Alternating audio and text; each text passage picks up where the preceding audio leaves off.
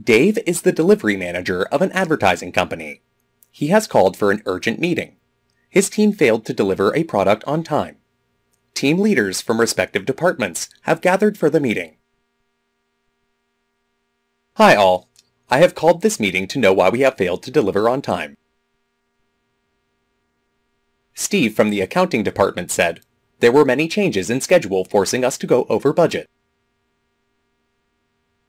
Rex from quality department comments, The creative department has been slow in providing details. Henry from creative department immediately retorts, Our ideas have always been rejected by your department. You are never clear as to what you want. Steve also took a dig at Rex. Your people did not keep us in the loop. Anna from Personnel Department comments, We had to hire seven more people than estimated for this job. Dave realized that there was no coordination among the various teams. Each one was blaming the other.